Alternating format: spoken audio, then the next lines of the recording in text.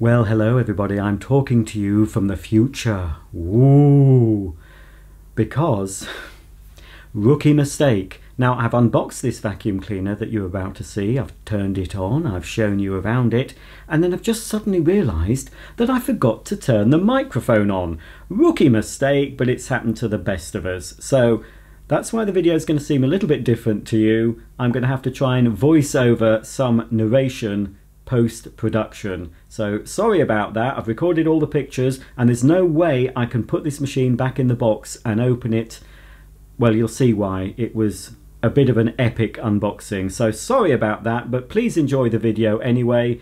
Um, enjoy me opening and uh, demonstrating this Electrolux vacuum. Hello everyone. Well, I don't know if this is going to work. Um, I've got a terrible cold. This uh, video was recorded probably two years ago, as you can see from the old carpet. Um, the date of filming this is March the 30th, 2022. And yes, I have a cold, folks. Not the flu, just a head cold. I'm getting over it. Um, I'll be fine. So here, here's the vacuum. Lots of little boxes, as you can see. It's all very exciting.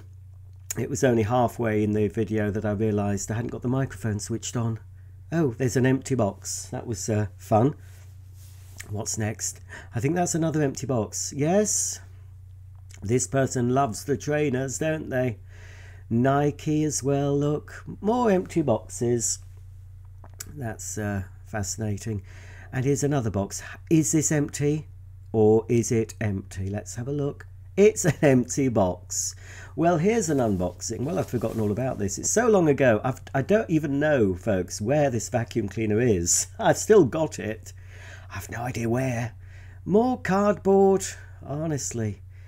Anyway, I wonder if it's going to end up all broken in pieces, folks. Well, there's a big box. I think, I think that's the vacuum itself. I'm not sure. I think it is. Oh, how are you anyway? I've never done this before. It's a bit uh, odd trying to record so long ago because it's not going to be spontaneous. This has happened ages ago and I'm a lot thinner there, look. So here's a nozzle that came with it. This is a nozzle for an Electrolux 345.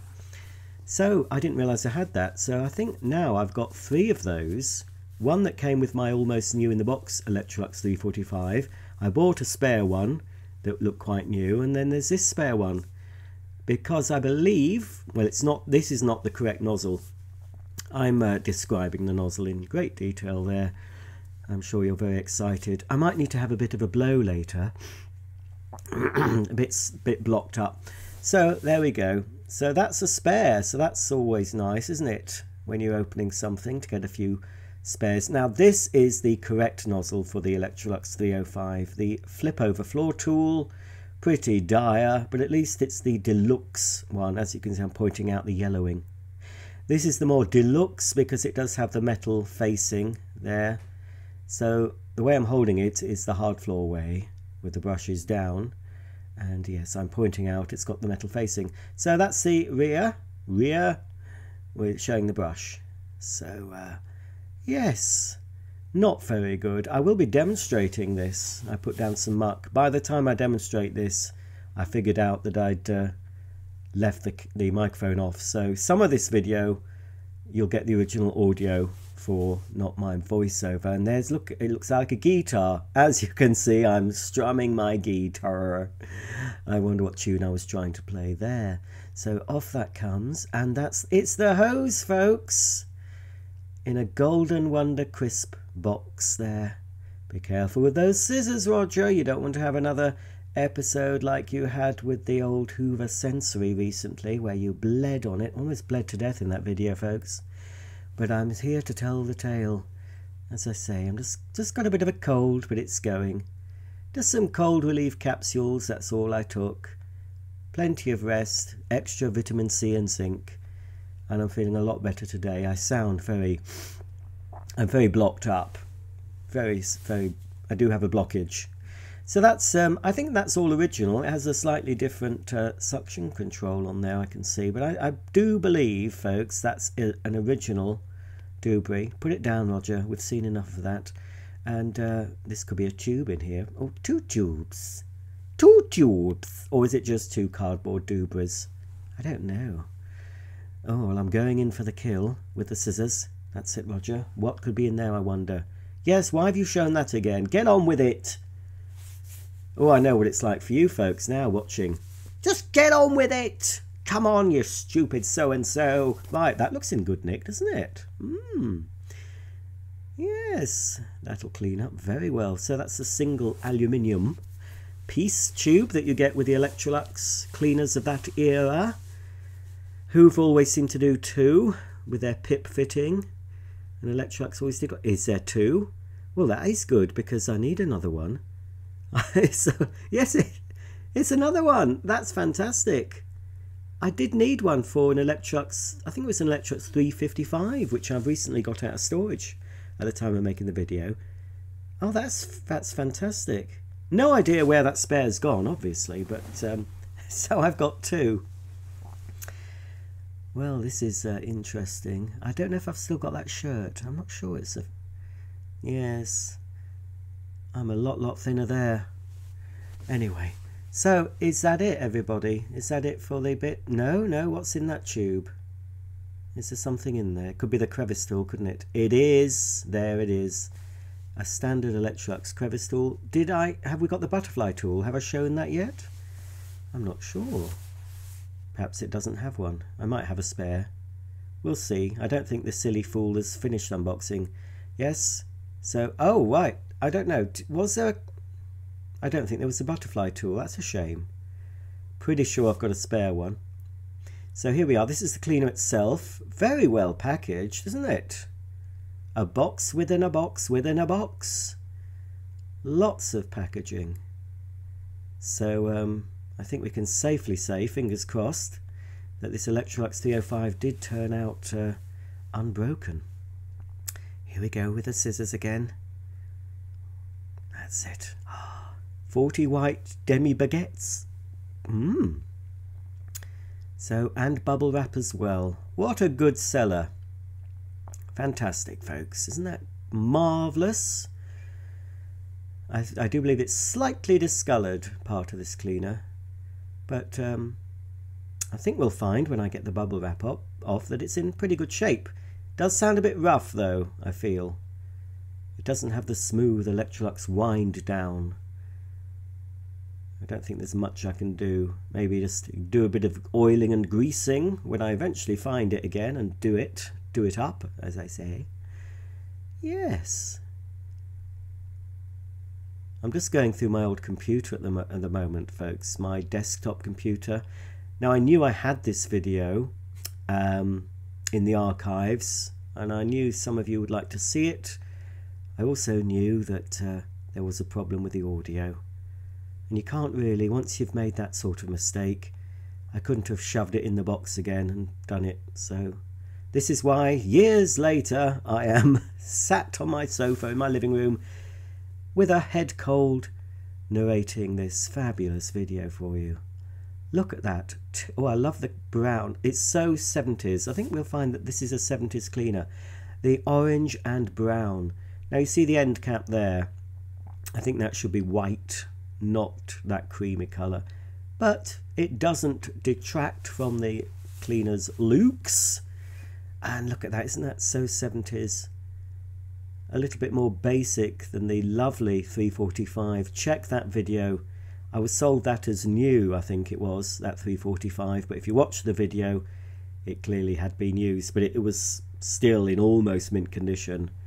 And the Electrolux 345 alongside my 502 and 504 uprights are three Electrolux cleaners that will certainly be staying in my collection for a long, long time. And possibly this one as well. I will be getting rid of some. Um, but I do like the 70s vacuums. Quality there, folks. And as you can see, I'm fondling it and uh, judging it as if it was an object. And it, in fact, is an object. As all vacuums are. There, change the shot there, look. So there's the built-in carry handle, built-in carry handle, not broken. Sometimes they can be broken. And it's a metal bodied machine, certainly the middle part, with a vinyl cover. Electrolux did that uh, for a lot of their machines. And look at that lovely 70s styling. Absolutely lovely. There we go, 305, and you can just see Electrolux logo there embossed on the uh, back of the machine. It says Lux, and there we go, look, made in England. I'm not sure if I do a close-up of that. Probably not. Two wheels with nice rubber tyres on.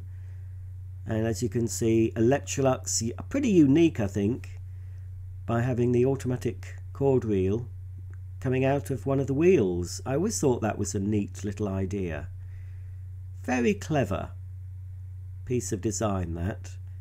And it's got the original grey flex. I don't know if that's a, a repair there, that red thing, or is that just saying don't pull out beyond this point? I didn't know they did it with older cleaners like that. I think I'm looking at the plug now. Here is the plug. They've pat tested it. It's a modern plug by the looks of it because it's got the insulated pins, so it's not not age appropriate for this 70s cleaner. Now I'm afraid you won't be able to hear it. I'm going to switch on for the first time. Here goes. Oh,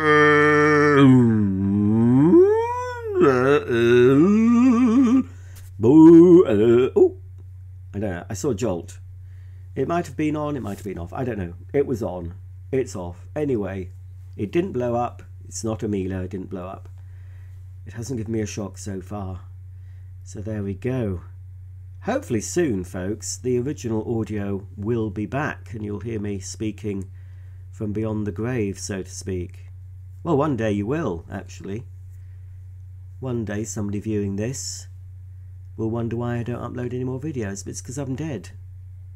But my legacy lives on in these YouTube videos, yes and I'll be watching you from my little apartment in heaven. No, it'll be a detached with a be fully detached new build with um, a utility room with matching washer and dryer. That's where I'll be watching you from. So it clearly works. As I said, later on you will see it in action. Uh, here comes the uh, exhaust air vent grill. Is it going? Am I going to get it off? I think it should come. Yes, there we are had a bit of trouble. Black carbon dust, as you can see on the underside of that, but that'll all clean off. Hot soapy water and a bit of a cloth.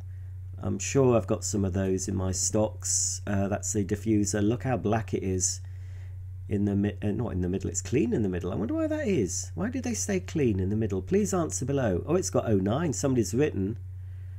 Mm, 20, 25, 03, 09.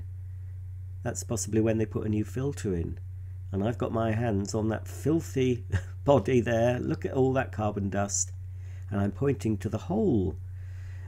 The hole where you can connect the hose for blowing. A fantastic blowing action. Electrolux had a blowing outlet on most of their cleaners, unlike Hoover didn't seem to do that. Saying that, no, they did on some of their more basic cylinders. This type of cylinder, you know, this shape of cylinder. When they launched the more modern cylinders like the compacts and sensotronics or oh, even the freedom didn't did it? The freedom never had a blowing outlet as far as i know. This is most like the freedom i suppose in style. The very traditional cylinder style of vacuum.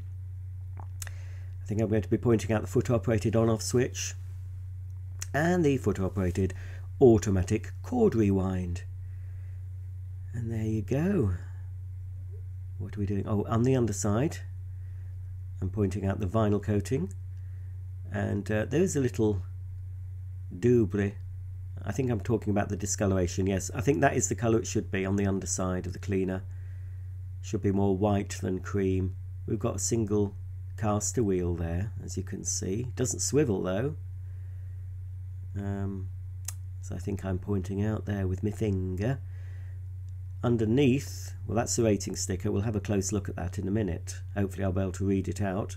So it's model Z305, product number 9005301, serial number 701, 240 volts, 50 hertz, 700 watts, and it's got the British Electrotechnical Approvals Board, produced to BS 3456, a Lux product made in England.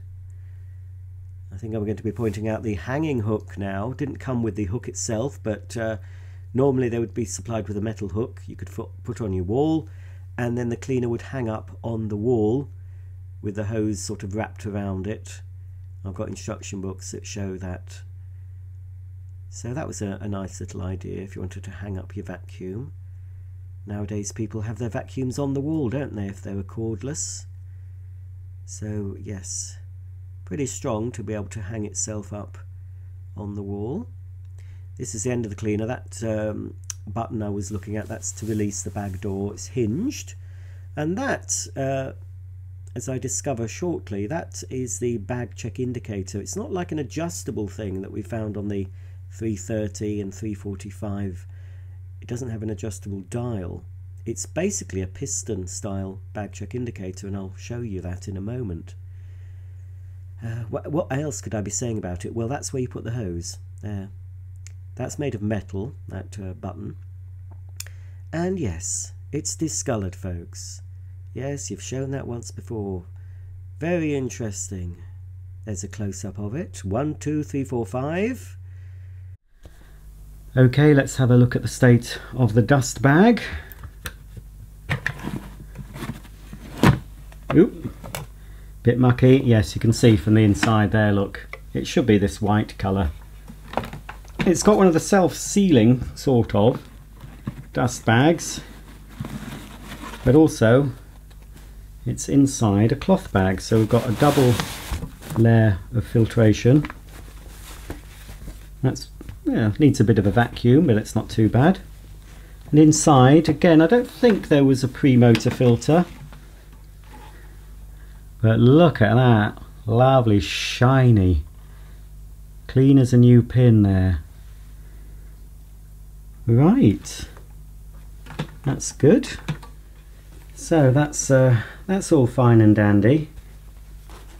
Pretty good. I need to get some of these bags because I haven't got any of that particular one. A lot easier to fit than the previous version 302 and I think there was a 303 after the 302 in a red and black colour basically the same machine so that goes in there I'm actually speaking to you now live. I have got the microphone on. Just at, at, the start of the section showing you the bag, that's when I discovered that the mic wasn't on.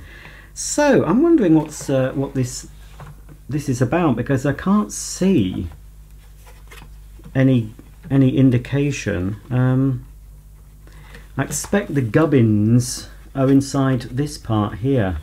There's something that controls the indicator. I don't think this turns off or anything. There's no automatic feature. I wonder if the next machine up from this would have been the 330, which I do have. But um, I think I'll, I'll block off the end. I don't think anything, I don't think like it's a piston indicator. So when I block the end, I'm, I don't think we're going to see anything. But you never know, we might do. We'll give it a go, shall we? Let's switch it on.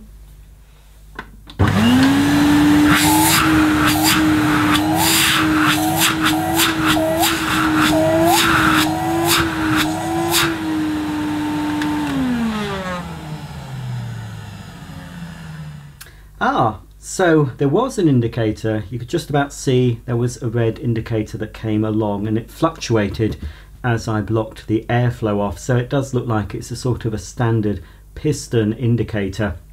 It was showing I think around midway when I wasn't uh, blocking the airflow. So if this had a new bag in it and a clean outer cloth bag, it probably would show under the one setting. So you learn something every day. I never knew it had that feature. So, yeah, pretty pleased with this. That's a, oh, that's a little bit loose. Mmm, it's quite loose. That doesn't have that nice funk. Yeah, it's probably that end that needs replacing. And yes, to think of it, I've seen one of these on eBay recently. Just this end part, and it's it's this part I want. It's the uh, the rubber seal. I think a replacement, I can see it's, it's cracked and broken. Look there, look.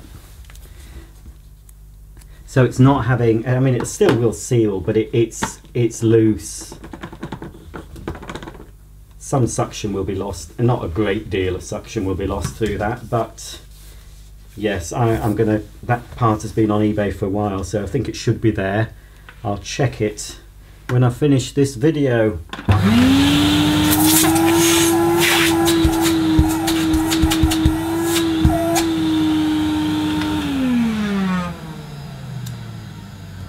Where's my suction gauge? Uh, it does seem it's a good good suction on it. Yeah, she's a good sucker. Now then, hitch up my trousers. Ah. And oh, I can't see my suction gauge because it's uh, probably, if I turn the camera around, you'd see why I can't find anything because the whole room is filled with packaging. oh dearie me. It's gone, folks. Oh, oh no, I've seen it, I've seen it, I've seen it. Fear not, the suction gauge is here. We'll see what it's like. We won't bother doing it at the hose end, at the cleaner end. It doesn't make much difference.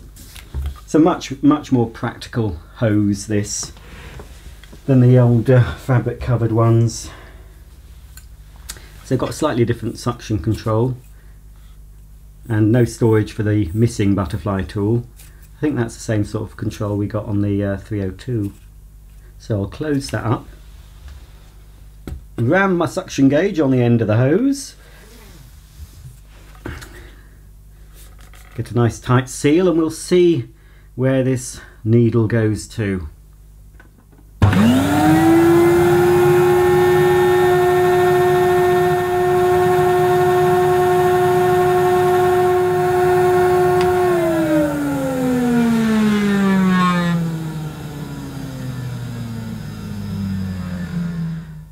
Well, that was nearly 70 on the gauge, which isn't bad for a 700 watt motor, and especially a 700 watt motor in such an old vacuum cleaner.